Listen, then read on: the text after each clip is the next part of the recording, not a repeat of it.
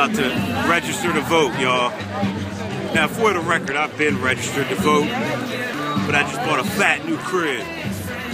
So I gotta re-register. So we're gonna do it right now. My vote counts. We can't have Romney's dumbass up and off.